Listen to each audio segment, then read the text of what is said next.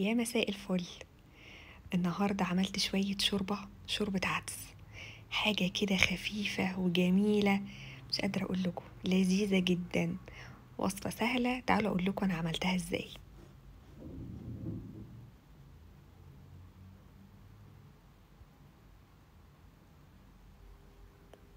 بحضر بصلاية كبيرة. مثلا تلات أربع طماطميات. معانا كمان كرفس توم أربع خمس فصوص كده من التوم معانا طبعا جزر جبت كده جزرتين حلوين وبطاطساية كده قد كف الإيد وقطعتهم كلهم في حلة على النار. وحطيت بعد كده العدس ده كوباية من العدس الأصفر مغسول ومتصفي. وبعدين حطيت مية سخنة يدوب تغطي الخضار بالظبط عشان أنا عايزة أزود شوربة. أول ما ابتدى كده يدخل في الغليان رحت مزودة بقى شوربة وسبت كل الخضار يتسلق كويس قوي.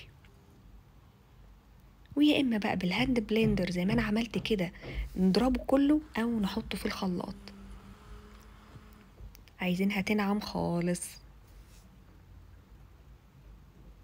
حطيت مكعب مرق نص معلقة صغيرة من الكاري ملح وفلفل وبرضه نص معلقة صغيرة من الكمون والكزبرة وفي الآخر كده رشة شطة.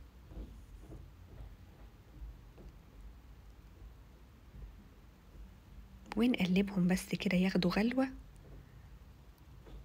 وأحلى شوربة عدس ولا حطيت فيها سمنة ولا زيت ولا أي حاجة. أوقات بحب أطشها بشعرية أو بفصين من التوم بس ما كانش ليا مزاج. كنت عايزة أخد عدس كده خفيف. وحمصت شوية توست قطعته مكعبات ممكن نحمصه في الفرن أو في الإير فراير براحتكم.